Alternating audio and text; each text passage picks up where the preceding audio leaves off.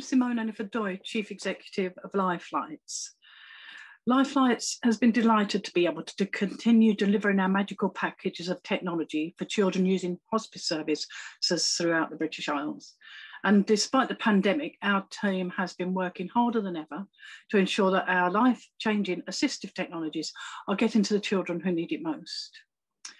Thanks to your very generous donations, we've been able to donate our four year packages of technology, training for hospice staff, and equipment maintenance, enabling the many children using these services to play, to be creative, to control something for themselves, and very importantly, to communicate for as long as it's possible.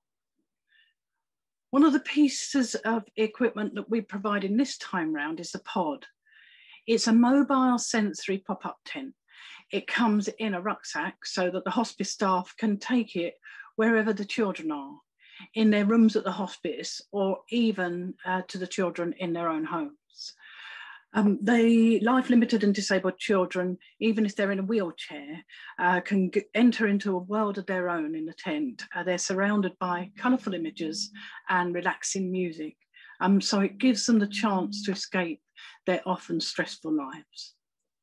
Without your support, Lifelites would not be able to donate these magical packages of technology for children and families using hospice services.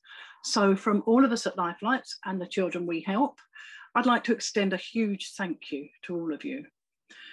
Your donations have enabled some of the most vulnerable children in our society to escape the confines of their conditions and communicate their wishes and fears during what is a very difficult time for us all.